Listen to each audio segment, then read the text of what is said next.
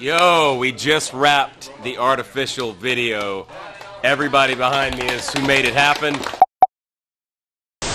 A musician who found his start on American Idol, formed a band, and has since sold over 9 million albums, solidifying his worldwide rock star status, decides he wants to shoot his next music video using virtual production on an LED stage. Fortunately for him, Geoffrey Kater was the man for the job. In this shoot, they came to me with some basic rough storyboards. Theme of the video featured an apocalyptic world. Seeing the technique of virtual production, they could see the value of that. It's one thing to have a vision for your first virtual production music video, it's a whole other thing to bring that vision to life.